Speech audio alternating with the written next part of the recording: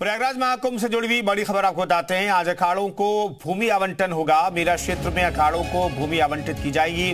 दोपहर एक बजे भूमि आवंटन शुरू हो जाएगा। आवंटन से पहले सुबह 11 बजे अखाड़ा परिषद की बैठक होने वाली है। उदासीन अखाड़े में अखाड़ा परिषद की बैठक होगी।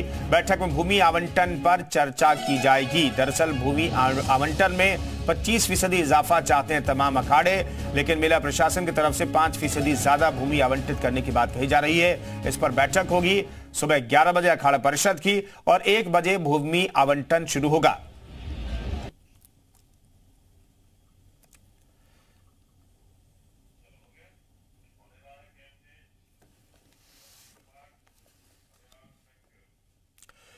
बद्रीनाथ